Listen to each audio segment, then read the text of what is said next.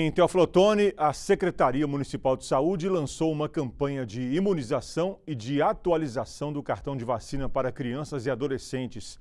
A ação tem início neste sábado, dia 21, com a distribuição de brindes a quem atualizar o cartão.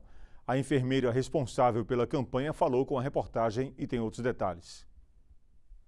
É uma iniciativa do governo federal, né? todo segundo semestre acontece essa campanha que a gente chama de campanha de multivacinação, que os mais antigos chamam da famosa campanha Acerta Cartão. Então ela vai começar agora no dia 21 e nosso pontapé inicial de abertura de campanha já vai ser o dia D. Então esse sábado, dia 21, todas as salas de vacina estarão abertas de 8 até as 16 horas para atender todas as pessoas de 0 a 15 anos. Esse é o público-alvo dessa campanha, que é para a gente estar tá acertando o cartão.